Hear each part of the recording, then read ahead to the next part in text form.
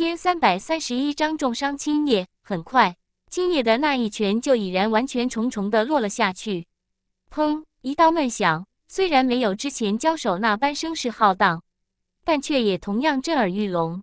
这一刻，几乎在场所有人都已经遇见凌云脑袋开花、鲜血四溅的场景了，就连景洪眼中都是流露出了绝望之色。只是众人所预料的惨烈一幕并未出现，凌云没有脑袋开花，也没有鲜血飞溅，他依旧站在原地，如同磐石一般岿然未动，以至于现场众人都是不由得一脸惊异，纷纷用一种惊愕的眼神盯着凌云。凌云一动不动地站在那里，但青叶那一拳却竟然丝毫没有对凌云造成任何影响，甚至就连皮都没有破一点，怎么回事？等等。凌云身上那是符文力量，众人一阵疑惑，随即方才有人发现了一些端倪。他们感受到凌云身上有着一股浓浓的符文力量，那种符文力量很快就让他们联想到了符文纸。他竟然有符文纸，他刚刚定是使用了一张防御符文纸，只是我们刚刚一直注意的是青叶长老，所以并未在意到而已。有人肯定道：“符文纸十分罕见。”哪怕就是四大超级宗门之中，能够拥有符文纸的人都是屈指可数。就算是景洪和青叶等人，都未曾拥有符文纸，所以这让得众人一阵惊疑。事实也正是如此，凌云刚刚确实是使用了一张符文纸，而且还是一张防御符纸。确切的说，从一开始打算立威开始，他就已经做好了使用自己身上那几张符文纸的准备了。而刚刚一开始之所以还动用蛟龙神变跟青叶交手，一来是想要试一试这蛟龙神变的威力，其次也想看一看自己跟青叶这等真武境八重后期巅峰武者之间的差距有多大。当然，最为重要的是还是迷惑青叶，然后出其不备。他总不可能当着青叶的面就明着使用符文纸吧？那样一来，效果无疑会大打折扣。毕竟没有人会傻到见到凌云使出符文纸，还非要凑上来挨打的。而现在这个机会终于来了，来的比凌云想象中的要快。所以凌云毫不犹豫地使用了那张防御符文纸。但这还没完，就在凌云将青叶那看似不可撼动的攻势轻松抵挡下来后，凌云却又立即再度拿出了一张符文纸。这一次拿出来的是一张攻击符文纸，毫无疑问。他要趁此机会，再利用这攻击符文纸给予青叶致命一击。或许你会觉得这么留下来立威，反而还要浪费掉两张符文纸，非常不明智。但凌云觉得值，哪怕将他身上的五张符文纸全都耗费掉，只要能够给予这青叶重击，能够让自己得以成功立威，那凌云就觉得这非常值了。毕竟符文纸这等东西，再怎么说也是身外物。但若是不在进入上古战场前将青叶处理掉，那自己进入上古战场后，这青叶将会一直盯着自己，到时候自己麻烦不断，很多事情做起来都会不方便。更何况，一旦其余宗门的人觉得凌云好欺负，恐怕也会不断来找自己这个所谓的天才麻烦。凌云进入上古战场可不是为了去迎接麻烦的，更重要的是。凌云的第二道九印分身现在正在修炼符文一道，而且经过这半个月的赶路时间，已经有了很明显的进步。再过不久，甚至凌云都有自信可以一举踏入一品符文师的行列，继而他自己都能够铭刻出一些简单的符文来了。所以这些符文纸对他来说，用了也就用了，丝毫没有必要心疼。总之。今日凌云就是要给这青叶一点点血的教训，因此这张攻击符文纸拿出来后，凌云就毫不犹豫的舌尖一咬，一滴精血便是迅即滴落到了符文纸上。霎时间，符文纸光芒大盛，其上爆发出一股十分恐怖的毁灭之力。那等毁灭之力不断凝聚，最后形成了一道冲天光柱，光柱从符文纸上爆射而出，势不可挡地朝着青叶冲了过去。青叶此刻还处在自己的拳头为什么没有对凌云造成任何影响的疑惑和发愣中。突然之间，又一道更加浓郁的符文力量笼罩了他的身体，然后就见到一道光柱迅疾如雷地就要轰在他的身上。这一刻，他彻底慌了。仓皇之间立即施展出各种手段去抵御凌云的攻击符文力量。可是他距离凌云实在是太近了，那等符文光柱出现的太快，太过于突然，以至于他根本没有一点点防备。都不等他的手段根本来不及催动到极致，就已经跟那等可怕的符文光柱重重的撞击在了一起。轰！惊天之响，震天动地，四周一片剧烈颤抖，地面不断坍塌，一个个巨大的深坑不断显现而出，周围众人也是纷纷暴退，被凌云的那道符文攻势惊吓住了。虽然众人暴退，但他们的目光却还是死死地盯着青叶的身影。然后他们一个个就惊骇无比地见到青叶那些仓皇之间所施展出来的各种攻势，在凌云的符文攻势面前根本不堪一击，一经碰撞，瞬间就化为了泡影。而那符文攻势的余威却重重地轰击在了青叶身上。啊！一道惨叫声陡然灌入所有人耳畔，下一刹，青叶的身体就像是被踢飞的皮球一般，重重的倒飞了出去。等到所有人回过神来时，就已经见到青叶极为惨烈的倒在了地上。此时的他面色憔悴，气息已经紊乱，身上也是伤痕累累，甚至可见多处血迹斑驳。特别是他那只之前欲要将凌云脑袋打爆的右手，此时更是鲜血淋漓，跟之前不可一世的青叶形成了极为强烈的反差。攻击符文值所带来的攻势岂是一般攻势？更何况凌云这般出其不备，让青叶没有任何防备，青叶想不遭此重创恐怕都难。这怎么可能？可恶！青叶目欲呲咧，怒不可遏。他没想到真武境八重后期巅峰的他，竟然栽在了凌云这么一只蝼蚁一般的小子手中。第一千三百三十二章，我们来晚了。好在青叶毕竟实力不低，那等符文攻势固然强大，但也仅仅只是将其重创。并未对其性命造成威胁。见到青叶没死，凌云道也并不奇怪。他的武道修为还是太低了，施展出来的符文攻势威力毕竟有限，让青叶重伤这就足够了。青叶，我早就说过，就你那三脚猫的功夫，也妄想对我动手，真是不知好歹。凌云身体随着万物复苏觉的调息已经好转一些，此时的他一世独立的站在那里。黑发随风而动，给人一种威风八面的气魄之感。那种气场盖过了景洪，盖过了青叶，甚至就连清风明月阁的董伟长老都盖过了，以至于众多弟子此番看向凌云的目光，都莫名地涌现出一丝丝难以抑制的畏惧之色。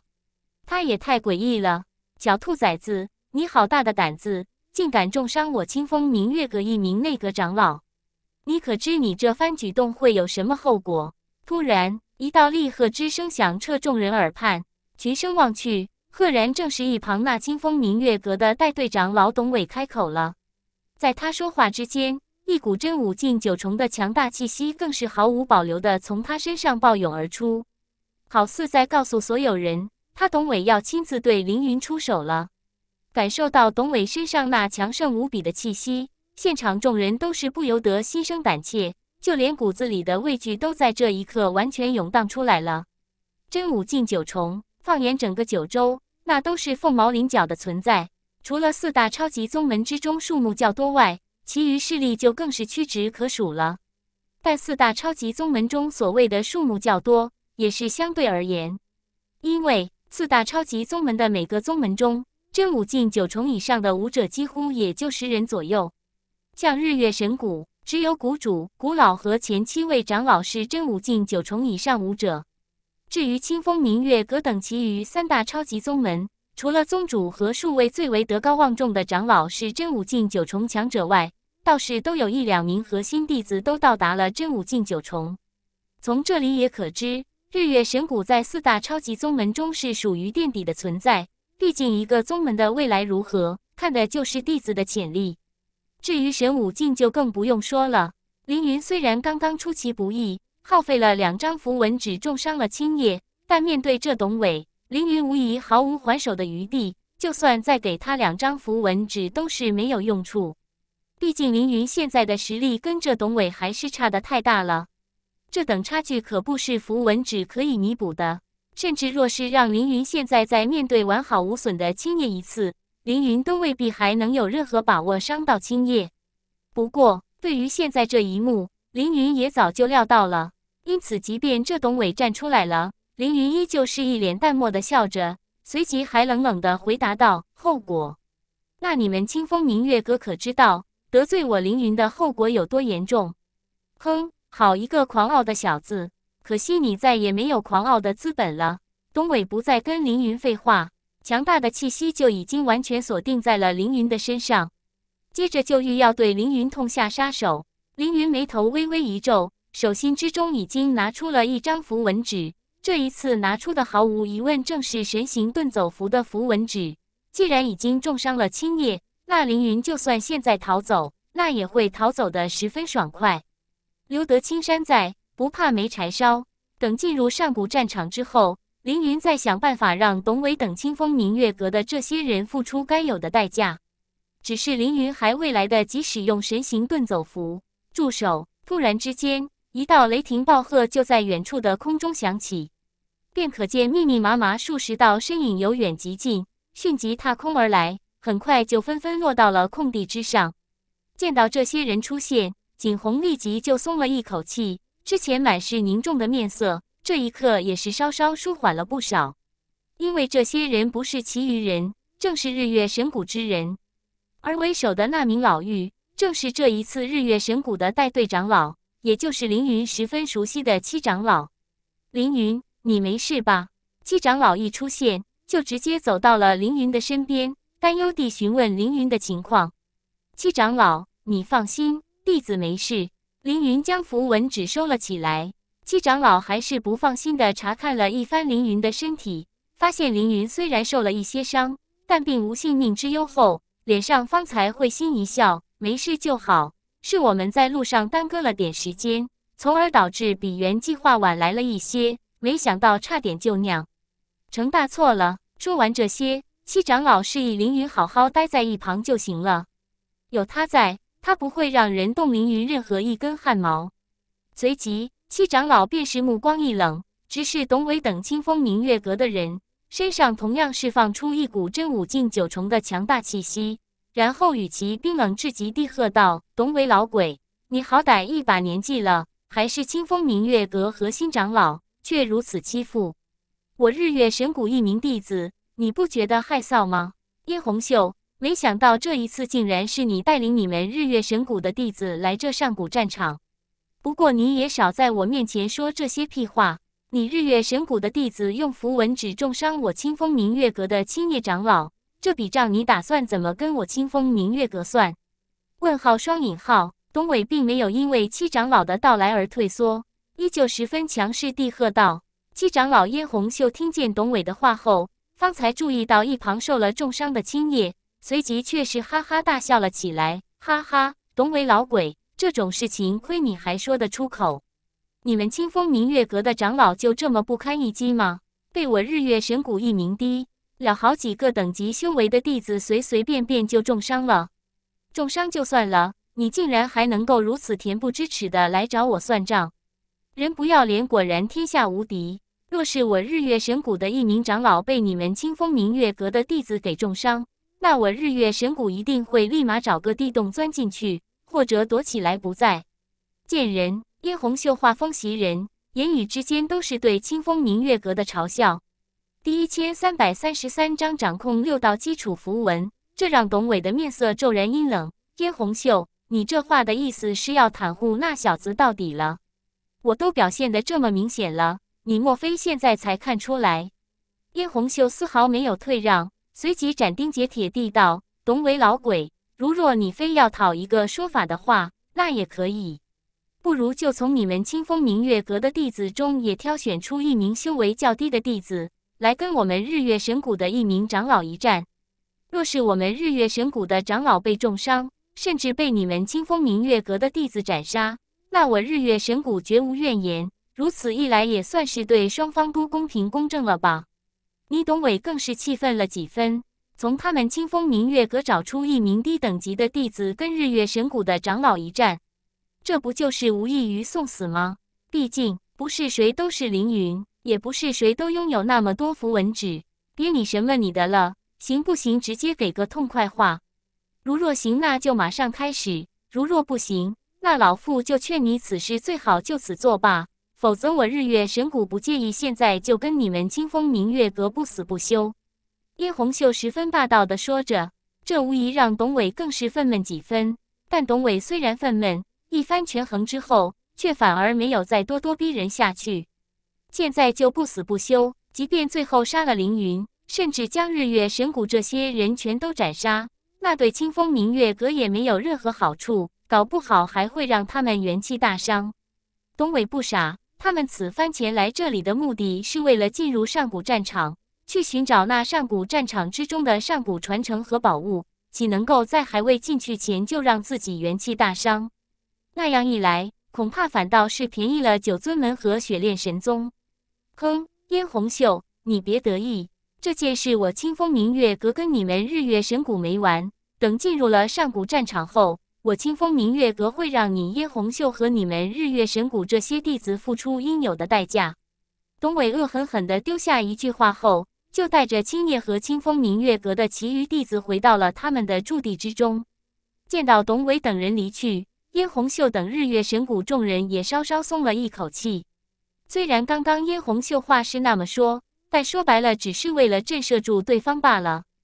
他自然也不希望在还未进入上古战场之前就跟清风明月阁真的不死不休。到时候，即便是你两败俱伤，对日月神谷也没有半点好处。好在将董伟等人吓唬住了，否则还真不知道该如何收场。接下来，七长老带领众人也在周围驻扎了几个帐篷，供大家休息所用。七长老，既然那件可以进入上古战场的宝器已经修复成功，为何我们现在不直接进入上古战场，却还要在这里等着休息的时候？凌云也是将心中的疑虑问了出来。早点进去自然更好。嫣红秀摆了摆手，微微一笑，道：“凌云，你有所不知，我们所修复的宝器固然可以开启进入上古战场的出入口，但那个出入口却只能够维持十天左右。也就是说，这十天之内，我们就必须就又要从上古战场。”之中出来，否则我们将被一直困在上古战场之内。但若是我们能够跟其余三大超级宗门联合起来，一起开启利用各自宗门的宝器开启这上古战场的入口，那我们将会有一个月的时间待在上古战场之中。所以，我们四大超级宗门的人提前沟通了一下，最终在这一点上达成了一致意见，那就是四大宗门一起开启这上古战场的入口。听见七长老的话后，凌云方才明白过来，十天的时间确实太短了，随便遇到一点危险，恐怕时间就会耗掉不少。到时候或许在上古战场中什么都没有做到，就不得不离开了。这样一来，无异于形同白来。但如若有一个月的时间，那就比较充裕了。四大宗门联合起来，一起开启上古战场入口，对四大宗门自然都是很有好处。既然如此。那现在就只需要等待雪炼神宗的人到来即可。凌云兄弟，没想到你也来了。一道凌云熟悉的声音突然在凌云左侧响起。凌云转过身望去，就见到一道熟悉的身影朝着自己走了过来。可不正是新世一族的辛哲？辛哲之前并不知道凌云也要进入上古战场，他和其余核心弟子跟随七长老到来之后，方才知道凌云也来了。此番自然要上来跟凌云打一声招呼。清哲师兄，你也在啊？那等进入上古战场后，你可得多关照一下师弟我。凌云笑眯眯的回答道：“凌云兄弟，你可就别打趣我了。以你的实力，我求你关照还来不及。”清哲笑道：“他可不是一两次见识到了凌云的强大。无论是凌云帮他们新氏一族获得凤舞神藤，还是凌云在核心弟子考核上的表现。”都让辛哲异常吃惊，哪怕就是真武境八重初期的辛哲，此时都丝毫不敢说自己强于凌云。这时候，有几个跟辛哲关系不错的日月神谷弟子也凑上前来，十分热情地跟凌云打着招呼。凌云自然也以热情回应他们，几人相谈倒是甚欢，很快就相互结识了起来。其中有一名叫做颜无尽的青年给凌云印象较深。此人真武境八重中期武者，却身怀一种不错的宝体。若是将这宝体释放出来，战斗力应该能够媲美真武境八重后期。而跟辛哲和颜无尽等人聊了一些有的没的后，大家方才一一散去，然后开始了各自的修炼。凌云没有急着修炼，而是转而进入了第二道剑印空间。他想进来查看了一番这第二道九印分身的修炼情况。查看完后。凌云满脸笑容，不得不说，第二道九印分身全身心地投入到修炼之中，其修炼效果就是非同一般。到现在为止，第二道九印分身已经帮助凌云成功掌握了六道基础符了。一般来说，只要掌握十道基础符文，就可以成为一品符文师。这无疑就预示着一品符文师已经近在咫尺了。而且之前符谷之中的符老也说过，以凌云在符文一道的天赋。他或许无需掌握十道基础符文，就能够掌控一些符文力量了。若真是如此的话，对凌云来说绝对是一大喜事。第一千三百三十四章开启上古战场入口。这般查看完后，凌云也就没有再打搅第二道九印分身，而是自己直接退出了剑印空间。随后，他拿出之前从炼器师工会会长焦那里得到的十枚龙石，开始将其全都一一炼化。毕竟之前修炼龙典的时候，以及上一次核心弟子考核过程中，他使用龙族手段的时候，他其实都消耗了体内不少龙之气。此番炼化吸收这些龙石，无疑就是要让自己体内的七个龙玄保持一定程度的龙之气，以免进入上古战场之后，自己动用龙族武学时没有龙之气可用。这等炼化吸收的过程，说快不快，说慢不慢。以至于时间缓缓而逝，半天时间就这样说没就没了。半天之后，凌云方才终于将十枚龙石全都炼化吸收掉了，他体内的七个龙玄也随之再度变得充盈了起来。但也就在这时，远处空中阵阵破风声陡然响起，所有人都是不约而同地望了过去，就可见数十道声音由远及近踏空而来。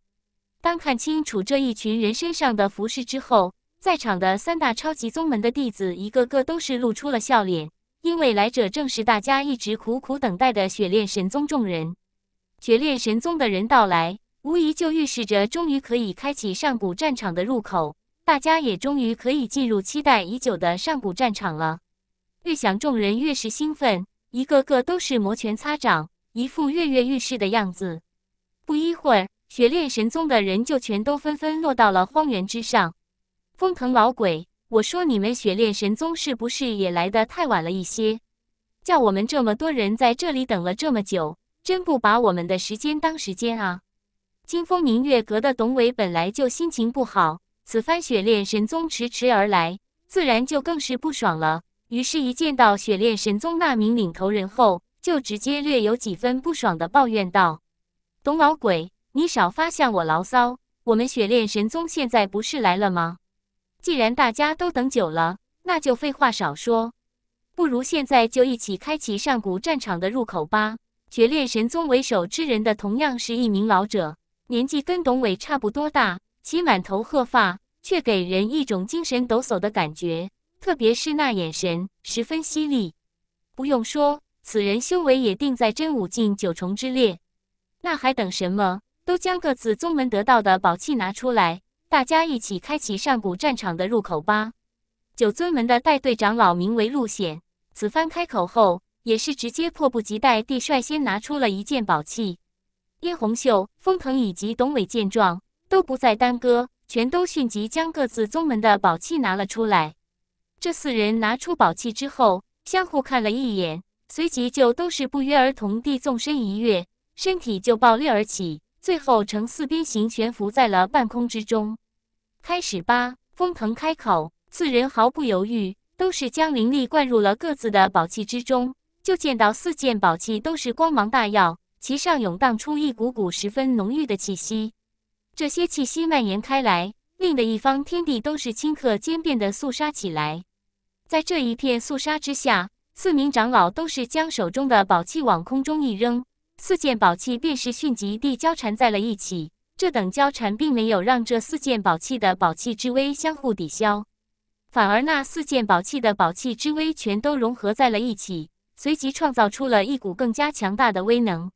随着威能的愈发强势，凌云感觉到四周的空间都好似在慢慢撕裂了一般。凌云，开启上古战场的入口不是那么简单的事情，哪怕是这四位长老联手，估计至少都还需要好几个时辰的时间才行。趁着还没有进入上古战场之前，我正好可以给你介绍一下其余三个宗门对你有所威胁的人。毕竟这上古战场之内十分凶险，谁也难以预料会遇到何等状况。搞不好，大家很可能一进去就都被分散开来了。虽然我会尽量跟在你身边保护你，但难免会有什么意外。所以让你对其余宗门的人有所认识，对你也是非常有好处的。荣景在凌云旁边开口道：“嗯。”凌云点了点头。他早就发现，这四大宗门中，除了那几名实力强劲的长老外，有一些弟子的实力也非常不弱。至少以凌云现在的修为，在不借助符文纸的前提下，未必就能够战胜他们。提前对他们了解一番，确实不是坏事。凌云，我先给你介绍九尊门的弟子吧。你看到了那个穿红衣服？恢复常见的弟子了吗？此人叫做魏杰，实力在真武境八重初期。荣景似乎在来这里之前就做足了功课，对其余三大宗门的弟子都较为了解，当即就给凌云介绍了起来。只是真武境八重初期，荣景长老，你不是在开玩笑吧？凌云顿时间一脸苦笑，当即就打断了荣景，地话道：“荣景长老。”你该不会是觉得真武境八重初期武者就能够对我造成威胁吧？荣景长老是不是也太小看我了？他没想到荣景一开口介绍就直接给他介绍八重初期武者。若说凌云没有突破到真武境六重中期之前，或许对这真武境八重初期武者还会稍稍有所忌惮，但现在已经突破了的他，八重初期武者已经难以入他的眼了。荣景一阵汗颜。但见到凌云这般自信满满的样子，他也就直接跳过了对那些八重初期的武者的介绍，继而再度指着九尊门那群弟子中的两名长得一模一样的黑衣服弟子，对凌云介绍道：“凌云，那两人是双胞胎，经常一起行动，如同连体一般。他们两人在九州也是小有名声，似乎是因为两人最拿手的手段是一套跟黑鹰有关的武学，所以人称黑鹰双雄。”两人实力都在真武境八重中期，但两人联合起来，战斗力或许可以媲美真武境八重后期武者。你一定要小心他们。凌云眼神微微一眯，远远地打量了一下这两人，确实似乎有点能耐。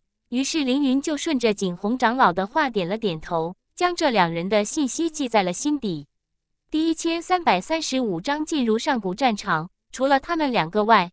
你还得小心，另外那名额头上有着一道火焰标志的人，此人叫做火前，修为已经到达了真武境八重后期，是这一次九尊门所带来的弟子中实力最强的。凌云一边听着，一边点着头。随后，荣景又介绍了一番九尊门的那几名长老，凌云同样将他们的信息全都记在了心底。抱歉，之前有些地方将荣景长老的名字写错成了景洪。是我写懵了，导致弄混淆了，实在不好意思。介绍完九尊门的人后，荣景转而看向清风明月阁的长老和几名弟子，其中有一名弟子引起了凌云的特别注意。此人叫做魏千山，似乎将大地奥义修炼到十分强悍的程度，随便一举一动竟然都能够牵动周围大地与之互动，那般感觉就好似他跟大地融为了一体一般。而且此人的修为也已经达到了真武境八重后期。随后，荣景又介绍了雪炼神宗的人。不过，雪炼神宗的大部分人都时不时地对凌云投来凶恶的眼神，一个个都很仇怨凌云似的。细想一下，凌云倒也觉得这并不奇怪。毕竟上一次他去雪炼神宗大闹了一场，还救走了龙千野。这些人想必也听说了这些事情。所以看向凌云的眼神都是十分冰冷和不爽。对此，凌云并不在意，走自己的路，让别人愤懑去。不。过这雪炼神宗的弟子中也有一名叫做樊林的弟子，让凌云记住了。此人实力不错，如今也是一名真武境八重后期武者，甚至应该已经接近真武境八重后期巅峰的修为了。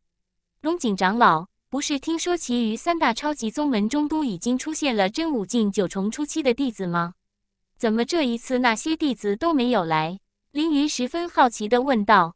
凌云，你刚刚成为核心弟子。所以有所不知，在不久之后，九州之上将会有一次非常重要的天骄集会。这所谓的天骄集会，据说每五年才会有一次，是九州赫赫有名的十大人尊前辈所开创的。到时候，四大宗门每个宗门都会派出五名最强大的弟子去参加。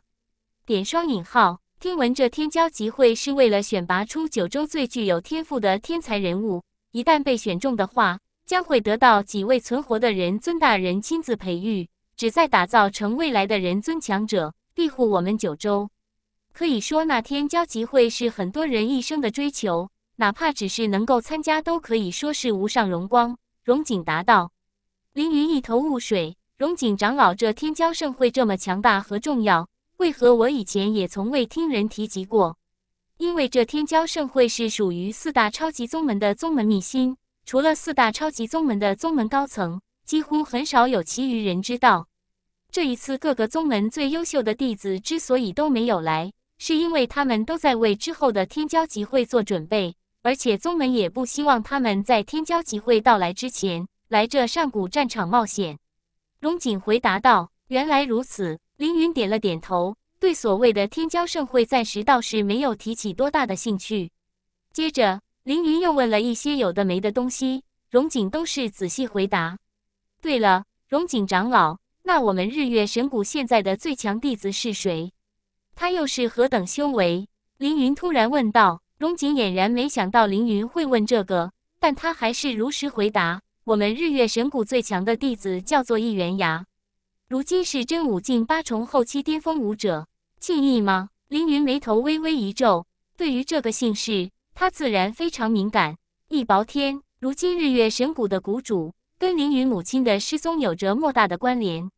龙井明白凌云的心思，所以当即点了点头，道：“凌云，你想的没错，易元牙正是谷主大人的儿子。不过这一次他也没有来。”嗯，凌云点着头，眉头却不由得紧锁了几分。之后，龙井还向凌云介绍了一些其余的人和事情。就这样。几个时辰很快过去了，终于，半空之中的四位长老的喉咙之中几乎同时喊出了一个字：“气。”这一道声响当即让现场四大宗门的弟子都是不约而同的将目光往空中看了过去。就见到四大长老此时身上都是气势冲天，那强大无匹的气息正不遗余力地灌输到了他们面前那四件宝器之上，以至于那宝器霎时间就震动到了极点。全集。就可见那四件宝器附近的空间开始出现了一个很小的黑洞。这个黑洞一出现，巨大的荒原之上，空间突然全都变得扭曲了起来，好似有着一层层涟漪一般的波动不断席卷开来，从黑洞的位置迅即扩散，层层暴涨，异常汹涌。但面对这等波动，四大超级宗门的众人却丝毫没有畏惧，反而还兴奋异常。终于要完全开启上古战场的入口了吗？凌云的眼中也是不由得闪过一丝惊芒，内心对那所谓的上古有也萌生出了一丝丝期待。嗡嗡，四周的空间更是疯狂的扭曲起来，在这等扭曲下，甚至都可以听见空间不断崩裂的声音，然后就可见之前那很小的黑洞开始疯狂的扩张。没一会儿，那个黑洞竟是直接凝成了一个巨大的黑色漩涡。毫无疑问。那就是连接着九州和上古战场的出入口。也就在黑色漩涡形成的瞬间，其中一股浓郁的阴冷之气暴涌而出，所有阴冷之气萦绕在众人的身上，让众人都是面色微微一凝，不寒而颤。但这完全没有打消众人的积极性，反而又是再度让众人愈发兴奋了几分，甚至现场的气氛陡然之间都躁动到了极点。不一会儿，黑色漩涡终于是彻底稳定了下来。日月神谷的弟子听着，再等一下进入上古战场的时候，我们的气息尽量牵连在一起，这样才能够让我们进去之后尽可能不会被分散开来。如若不幸分散了，一个月后上古战场的出口就会再度被打开，到时候你们只需要抓紧时间返回到你们最初进入的位置，从那里离开上古战场即可。龙井对所有日月神谷的弟子叮嘱道，其余宗门的长老也同样正如此叮嘱着他们宗门的弟子。第一千三百三十六章两件圣器。九尊门的弟子都还等什么？都随本长老一起进去这上古战场吧！留下一名长老在这里镇守着，等一个月后将出口再度开启即可。九尊门的领导者陆显最先发号施令，旋即就带领着九尊门的弟子以最快的速度纷纷掠入了黑色漩涡之中。金风明月阁的弟子也跟我进去吧，同样留下一名长老镇守在这里。等一个月后，跟其余宗门的长老一起开启上古战场的出口。金风明月阁的董伟同样迫不及待地带领金风明月阁的弟子进入了上古战场，只留下青叶一人，一边疗伤，一边镇守在此。我们也进去吧。七长老看向日月神谷众弟子，顷刻间，四大超级宗门的众人都如同蝗虫一般铺天盖地地朝着上古战场之中涌去。那等场景，声势浩大。气势不凡，以至于只是须臾之间，整个荒原之上就只剩下四道身影。赫然正是四大超级宗门留下来的四位镇守上古战场入口处的长老。这四名长老肩负同样使命，但谁也不待见谁。然后皆是各自在荒原之上盘腿坐下，四闭目养神，四各自静修。外界的情况，凌云毫不在意。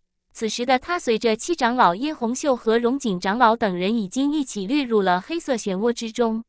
所有日月神谷的人的气息全都相互联系在一起，以至于在所有人表面形成了一层雾霭，远远望去就像是形成了一个包围圈一样。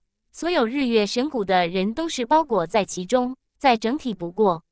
只是尽管如此，当随着众人一阵天旋地北，最后落到了上古战场内后。这个整体还是被莫名地分散了开来。至少凌云发现，他的身边就只剩下荣景长老和其余三名日月神谷的弟子了。至于其余日月神谷的人，都已经不知道去哪里了。那三名日月神谷的弟子望着周围陌生的环境，发现很多同伴都不见了，不由得感到一丝慌张和不安。好在有荣景长老在，方才让他们稍稍定下心来。但凌云却见怪不怪。显得异常淡定。此时的他目光环顾四周，便可见这是一个昏暗的世界。至少这里要比九州黑暗得多。这等黑暗沿着大地蔓延，无边无际，根本没有尽头。就连整片天空都像是被黑压压的云层所掩盖住了一般，给人一种十分压抑的感觉。在凌云等人前方不远处，有着一片暗黑色的丛林。那丛林深处会时不时地传出一道道极其狂躁的咆哮声，那些咆哮声似乎是某些强大妖兽传出来的，又似乎是某些离奇的鬼怪之物传出来的，十分刺耳。至少光是灌入众人耳中，让人不禁毛骨悚然。这里就是所谓的上古时期各种武道大激战的一片战场吗？比自己前世所去过的绝地和兄弟差远了。凌云心底微微沉吟。等等，这时凌云心神顿时一紧，他发现寻宝图在刚刚那一刻突然发生了异动。寻宝图异动代表着什么？凌云比任何人都清楚，所以他当即便是迫不及待地将寻宝图拿了出来。就见到寻宝图上此时多出了两个光点，光点一闪一闪，极为耀眼。见到这两个光点后，凌云目光立即就转移到了寻宝图旁边的天地至尊榜上。发现此时在天地至尊榜上也突然多出了两个名字，这说明什么？说明这上古战场之中有着两件至少称得上圣器的宝物。这两件圣器很有可能比凌云所得到的圣龙尺和七尊神门还要强大的多。天魔琴，顾名思义，应该就是一种琴类的圣器。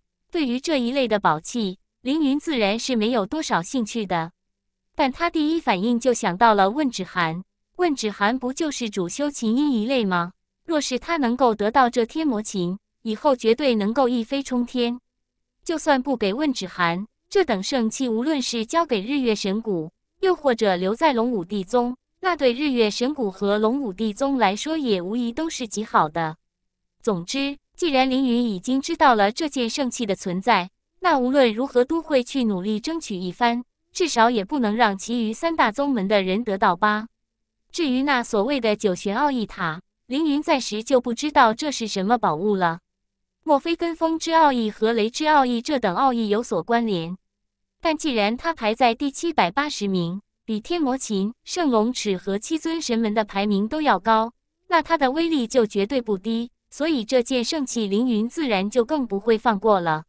龙井长老，接下来我们该如何行动？要不要先去找到宗门其余人再说？一名弟子不知道接下来该怎么办，只好询问龙井长老，让龙井来做决定。龙井稍作沉思后，方才缓缓答儿道：“上古战场面积应该不小，要想找到其他的宗门同伴，谈何容易？所以接下来我们无需去寻找他们，只需要找到上古时期发生大战的地方即可。那些地方往往是最有可能有着上古时期那些武道大能遗留下来的宝物和传承。既然这是一片战场，那这里无疑就曾经发生过很多大战。只要发生过大战，就一定死过不少武道大能，所以找到他们曾经战斗的地方，无疑是最有可能找到各种宝物和传承的。凌云，依我看，我们就从这暗黑丛林外的左侧前进吧。你意下如何？龙井见凌云一直没有说话，所以在决定好之后，又询问了一番凌云。此时的凌云其实也正在规划路线。由于寻宝图有着一个非常强大的功能。那就是只要一定距离内有着天地至尊榜上的宝物，那寻宝图就会将周围的地图全都显现出来。这无疑就让凌云方便多了。而凌云现在就是在寻宝图上确定自己的位置，然后再确定好那两件圣器所在的位置，继而规划出了一条争夺两件圣器的最优路线，并且很快凌云就规划好了。龙井长老和三位师兄，若是你们信得过我。不如接下来你们就跟着我走。”凌云斩钉截铁地道。第一千三百三十七章金刚巨蚁，有着圣器存在的地方，想必也正是上古时期那些武道大能战斗的地方，而且多半还是战斗最核心的区域。跟着凌云走，保管不会错。那三名弟子面面相觑，对凌云似乎并没有那么多信任。这倒并不奇怪，凌云才成为核心弟子不久。这种兄弟，他不可能进入过，让一个从未踏足、毫无经验的人带着他们走，这不是开玩笑吗？但荣景却非常果断地道：“凌云，那你说怎么走，我们跟着你走便是。”荣景知道凌云的脾性，他自然都这么开口了，那凌云就一定是在心底决定好了。只要是凌云真的认定了的事情，哪怕现在荣景不答应，估计凌云也会自己单独行动。与此如此，荣景自然就非常干脆地答应了下来。见到荣景都答应了，其余三名弟子虽然心中有几分不愿意，但由于他们自己压根也没有其余主意，所以也就没有多说什么。既然你们都同意，那就跟我来吧。我的路线是，我们先穿过眼前这一片暗黑丛林再说。凌云指着前方的暗黑丛林道。说完之后，都不等荣景等人多说什么。他便是自己率先朝着暗黑丛林走了过去。荣景长老，那暗黑丛林之中一看就是危险重重，我们才这么几个人，若是就这么进去的话，不就是进去送死吗？依我看，我们还是按照你之前的决定，走暗黑丛林外吧。有一名弟子提出异议，龙井其实也觉得进入暗黑丛林有点不妥，要他来选择，他一定不会选择走暗黑丛林。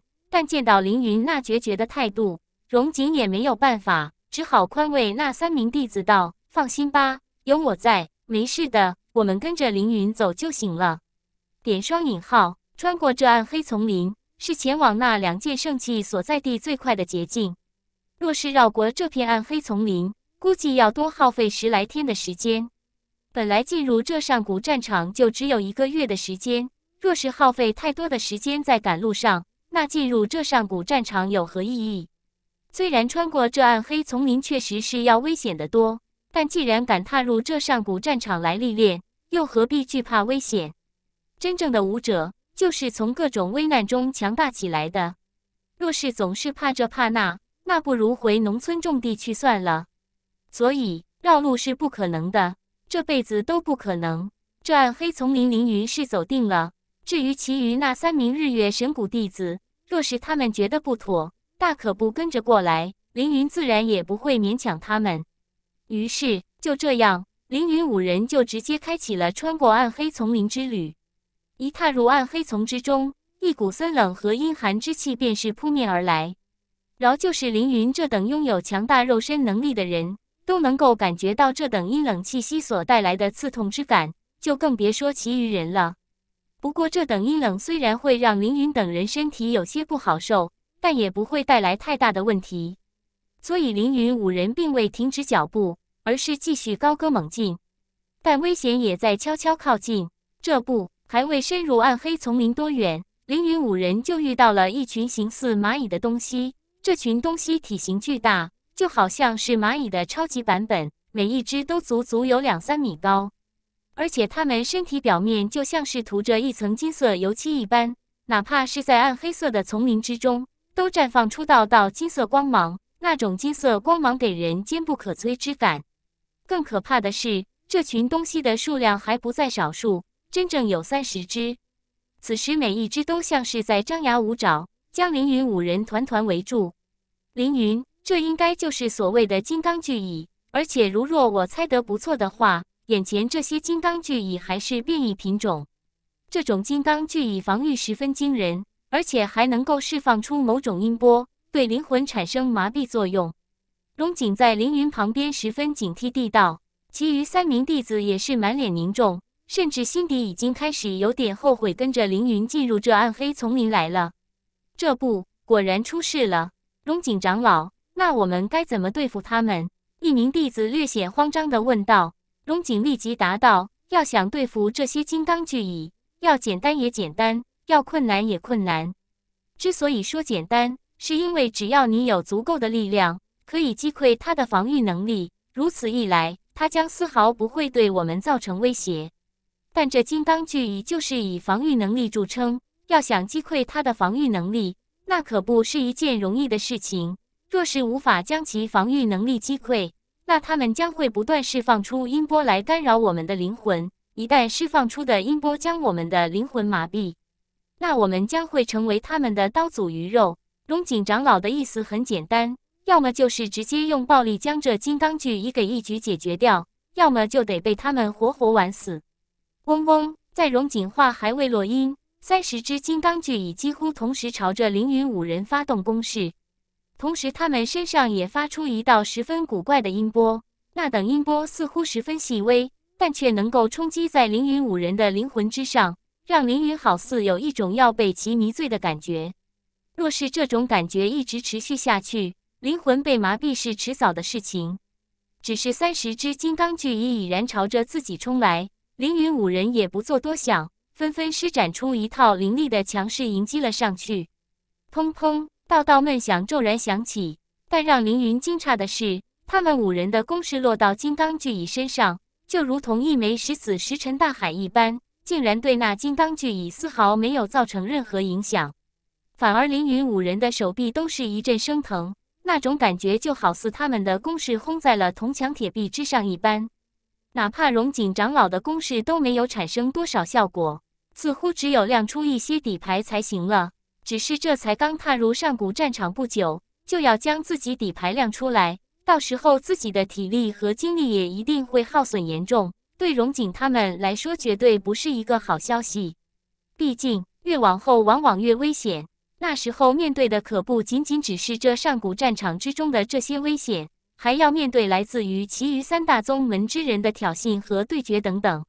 第一千三百三十八章魂灵，荣景长老。你们无需再出手，这些金刚巨已交给我一个人来对付就行了。凌云脸上却一度保持着风轻云淡的笑容。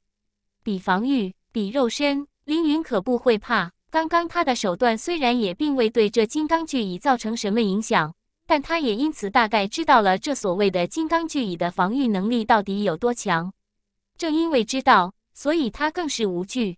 你一个人，你别开玩笑了，就是。若不是你执意要进入这暗黑丛林，我们也不会遇到这等危险。都这个时候了，还说这种风凉话。其余三人本来对凌云都是有点不爽，此番听见凌云的话后，无疑就更是对凌云不爽了。毕竟他们之前没有真正见过凌云动手，虽然知道凌云重伤了清风明月阁的一名长老，那也是因为凌云借助了两张符文纸罢了。所以他们并不认为凌云真的能够对付这三十只金刚巨蚁。凌云闻言，并未动怒，随即也懒得跟他们多说废话。只见其纵身一跃，整个身体直接化为一尊巨大的蛟龙，蛟龙盘踞在空中，声势浩荡，让的那三名弟子都是一阵惊诧。下一刹，凌云身上便又是有着一股可怕的力量狂暴而生，赫然是凌云直接将蛟龙神变的力量狂暴状态给激发了出来。于是都不等那三名弟子回过神来，凌云的蛟龙之躯就已经冲入了三十只金刚巨蚁的阵营之中。轰轰砰砰，蛟龙之躯保证了凌云强大防御能力，让凌云轻松抵挡掉了三十只金刚巨蚁的攻势。而力量狂暴，则是赋予了凌云足够强大的力量，去将金刚巨蚁的防御给轰得支离破碎。点，以至于接下来的场景几乎是一边倒的局势。三十只金刚巨蚁就在凌云的强势手段下纷纷倒下。最后，所有尸体又全都被凌云施展吞天熔炉给技术炼化吸收掉了。这一幕让那三名弟子一阵惊悚。凌云的肉身能力太恐怖了吧？甚至就连荣景长老都是诧异不已。虽然之前凌云面对青叶的时候就已经展现出了强大的肉身能力，但毕竟当时凌云只是防守惊人，没有表现出如此爆炸的力量来。至少在青叶面前，没有表现的这么抢眼。最后甚至还被青叶给击伤了，而现在通过这金刚巨蚁强大肉身的衬托之下，荣景才明白凌云的肉身能力竟然已经强大到了这种程度。继续前进吧，凌云并不打算做过多停留，然后就和荣景等人继续暗黑丛林更深处而去。一路之上，无疑又遇到了不少危险，但都被凌云和荣景几人化险为夷了。一天之后。他们终于是到达了暗黑丛林核心区域，这里气氛最为压抑，光是行走在其中，都让人有一种近乎窒息的感觉。若非凌云几人的武道修为不低，光是这种气氛都或许足以要了人的性命。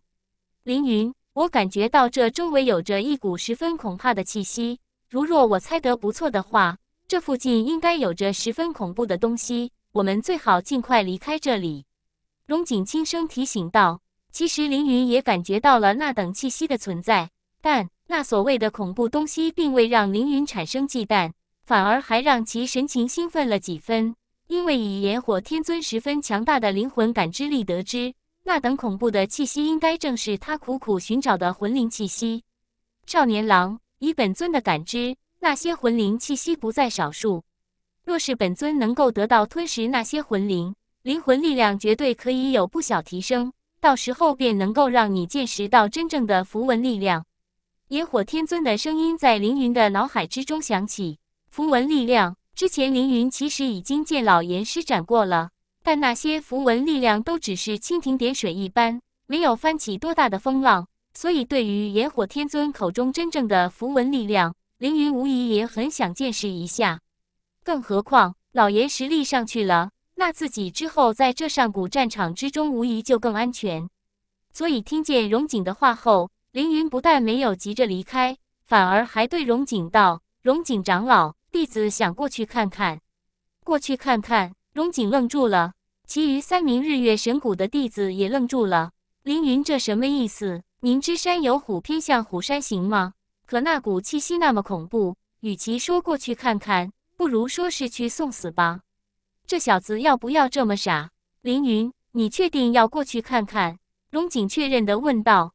凌云十分果断地点了点头。若是荣景长老和其余三位师兄不想去的话，可以在这里等我一下，又或者可以进入我的乾坤画卷之中，我们跟你一起过去吧。荣景看了一眼其余三名弟子，他们三人虽然看起来有点不情愿，但也没有说什么。于是。凌云和荣景等人就直接朝着那股气息小心翼翼地靠了过去。直到距离那些魂灵不足一百米之远的位置，众人方才停下脚步，暗中观察了起来。就可见前方一处空地之上，血腥之色异常磅礴，那等血腥之气好似历经万古而不化，给人一种无尽的喋血之感。与此同时，凌云等人还见到那空地之上有着一具具白骨，少说也有数十人，可见这里曾经也发生过一些惨烈的战斗，继而死伤了不少人。而之前所感觉到的那股恐怖的气息，正是来源于这些白骨之中。能够历经这么多年而不朽的魂灵，可见此人生前的实力到底有多强大。也难怪一般人感觉到这等气息后都会心生忌惮。咦，那是？突然，龙井长老惊疑了一声，顺着他的目光望过去，凌云也见到那一堆白骨中央的位置有着五株灵草。那等灵草，凌云以前见过，可不正是灵叶草？当初选院大会的时，自己突破之际。七长老就赠予了自己一株千年灵叶草，也正是那株千年灵叶草助长了凌云连着突破了两个等级，最后方才得以成功在月峰区域占据了那座最好的庭院。当时凌云收下七长老那株千年灵叶草的时候，就对七长老承诺过，以后必定会十倍归还。第一千三百三十九章兽血玄珠，而眼下这几株灵叶草可不仅仅只是千年那么简单了。至少都可以称之为万年灵叶草，一株就顶得上千年灵叶草一二十株了。所以见到这些千年灵叶草后，凌云眼中明显闪过了一丝亮光。啧啧，还好过来看了看。凌云咂了咂嘴，然后就打算直接走出去。凌云，你干什么？荣景轻声喊住了凌云。凌云直接指了指那些万年灵叶草，意思再明显不过。要去你去。我们反正不会去，就是你难道就没有感觉到那股气息比之前还要更恐怖了吗？你这是去送死？那些灵药虽然非常珍贵，但你也要看自己有没有采摘的资本。三名日月神谷的弟子一脸谨慎。你们不想要，那我要了。凌云并不在意他们，总是怕这怕那，修什么武？不要更好，自己可以独吞。于是。凌云更是毫无所惧地朝着那片空地走了过去，只是刚一靠近，顿时间所有白骨之中就渗透出一股股阴冷的黑雾，黑雾不断萦绕在那一堆白骨上空，竟是直接在那上空凝成了一道阴影。那阴影似人似鬼，好似一道天幕，遮天蔽日。这一道身影的出现，让荣景几人都是面色一寒。他们虽然历练次数不少。但也是第一次见到这等东西，难免有几分心慌。毕竟魂灵并不是什么地方都能够存在的，在九州之上，就算是那些同样凶险的某些绝地之中，都难以存活魂灵。当然，魂灵也不是是个人死后都能够产生的。这上古战场之所以存在魂灵，那是因为这里曾经倒下的都是异常强大的武道至强者。见到这些魂灵，凌云倒是淡定的很。哪里有一丁点儿像是第一次进入上古战场的人？至于炎火天尊，那就不是淡定那么简单了，那是兴奋。哈哈，太好了！这些魂灵竟然还有活力凝聚在一起，幻化成战斗形态。看来这些魂灵比本尊想象中还要大补啊！随着炎火天尊的声音响起，炎火圣珠直接从乾坤画卷之中飞掠而出，最后悬浮在了半空之中。与那头魂灵面对面对峙在了一起，老严，这些魂灵就交给你自己对付了，我看好你哦。凌云丢下一句话，就不再管老严和那魂灵，漫不经心地朝着那五株万年灵叶草走了过去。你这少年郎，炎火天尊一阵无语，嗷嗷！但与此同时，那些魂灵已经朝老严发动攻势了。只见其咆哮一声，般发出尖锐的声音。然后，庞大的身体就化为一个黑色的球体，直接朝着炎火天尊砸了过去。那黑色球体之上，毁灭力十足。龙井等人感受到那等毁灭力，就更是满心忌惮了。事实上，就连凌云感受到那等毁灭力，都不由得心有余悸。难怪这魂灵能够散发出之前那般恐怖气息，其战斗力确实不是盖的。光是这一招，若是让凌云和荣景等人来面对，估计都得够呛。野火天尊没有办法，见到那魂灵攻势就要落到自己的炎火圣珠上，只能选择自食其力，独自面对。就可见一道道炎火不断在他身前凝聚，最后与那魂灵的攻势迅疾地冲撞在了一起。轰轰，双方攻势不断侵蚀，在空中激荡起一道道恐怖的能量波动。那些能量波动席卷起道道飓风，吹拂开来，令得周围树倒石崩，甚至地面都是不断崩塌出一个个不小的深坑。对于这枚诡异的炎火圣珠，荣景长老自然是见怪不怪了。但其余三名弟子可就惊愕万分了。那是宝器吗？能够自己战斗的宝器？这宝器也太强大了吧！这凌云竟然有这等宝器，而且从这宝器所爆发出来的攻势来看，这件宝器似乎比那具魂灵还要恐怖。凌云之前怎么不早说他有着这等宝器？顿时间，他们都是莫名的感觉到一阵肉疼。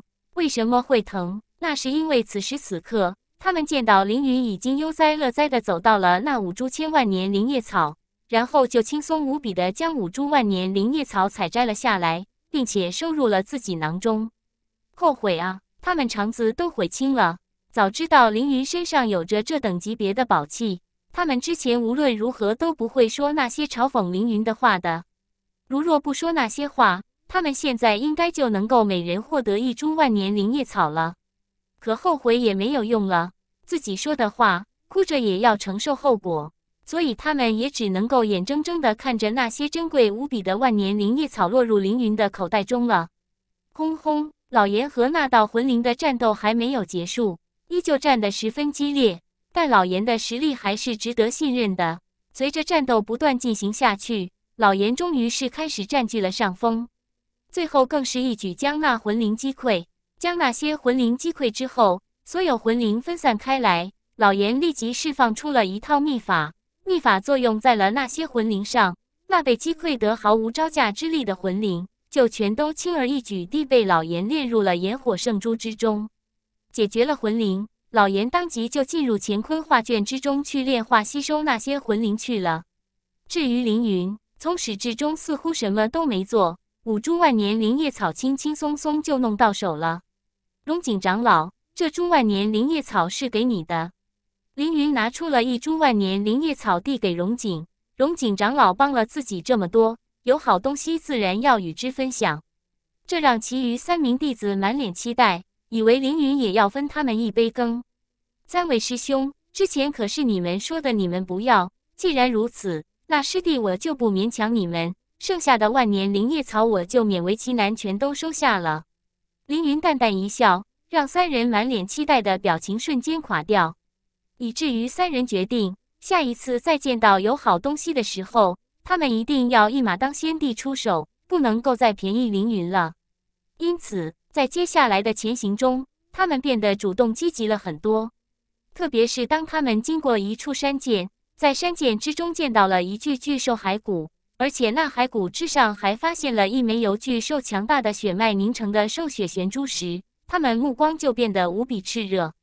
哪怕在凌云强调让他们不要鲁莽，要得到兽血玄珠得需要观察一下情势，甚至还说出了要去你们去我反正不去的话语，都是丝毫没有阻拦住这三人，以至于三人都是以最快的速度冲入山涧，胜券在握，搬去争夺那枚兽血玄珠。只是。当他们的身体刚落到那具兽骸骨身旁，他们立即就后悔不已了。第一千三百四十章五行灵珠。远远望去，整个山涧风平浪静，确实没有任何危险的感觉。但凌云却知道，越是风平浪静，就代表着这个山涧越是杀机重重。事实也正是如此。当三名弟子冲入山涧之中，异变突起，整个山涧光芒四射。整整有五道光柱冲天而起，五道光柱五种颜色，而且每一道光柱之中都充斥着浓浓的属性气息，分别是金属性光柱、木属性光柱、水属性光柱、火属性光柱和土属性光柱。也可以说，这五根光柱是五行光柱。五根光柱一旦显现而出，整个山涧都是地动山摇，好似世界末日一般。而那光柱之上，更是渗透出一股极其浓郁的力量。那股力量愈发磅礴，似乎能够将山涧之中的万事万物都斩杀。甚至那三名弟子和凌云等人都觉得那头巨兽就是这个五行光柱所斩杀。而整个山涧之所以风平浪静，那也是由于根本没有任何生物敢靠近这里。凌云目光骤然一凝，他隐隐间能够感觉到，这山涧地底深处才是这五行光柱出现的关键所在。那里似乎有着某些最为可怕的东西。轰！五行光柱爆发出层层五行属性的波动浪潮，那些波动浪潮全都不遗余力地朝着三名弟子身上暴涌而去。三人见状，无不惊愕，无不纷纷施展出强招，拼尽全力去抵挡那等五行属性的波动浪潮。但准备等五行属性的波动浪潮实在是太强势了，至少三人的手段在那等浪潮波动下毫无招架之力，以至于三人节节败退。若是再这样下去，三人必死无疑。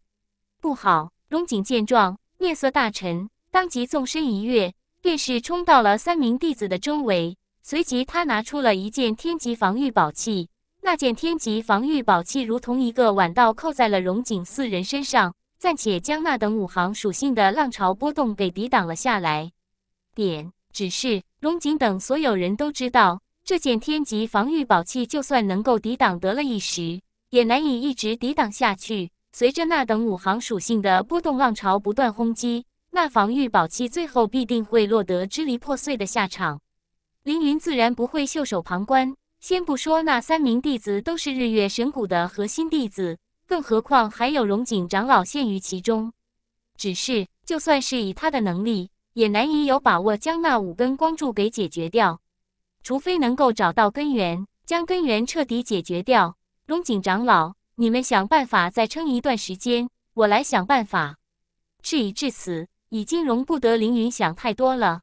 当他见到那五行光柱周围有一些窄小的洞穴，似乎可以通往地底后，他当即丢下一句话后，就进入了乾坤画卷之中，然后再操纵乾坤画卷掠入那洞穴之中，往地底深处而去。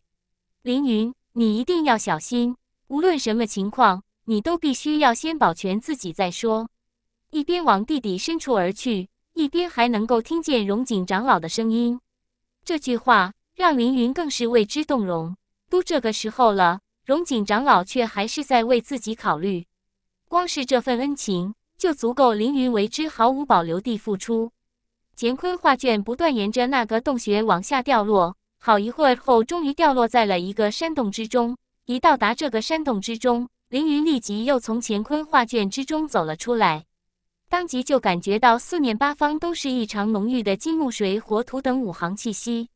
随即，凌云就见到在这山洞的洞顶，此时正有着五枚乒乓球大小的珠子。所有的五行气息都是来源于那五枚珠子，甚至那通往地面的五道五行光柱也皆是来源于这五枚珠子。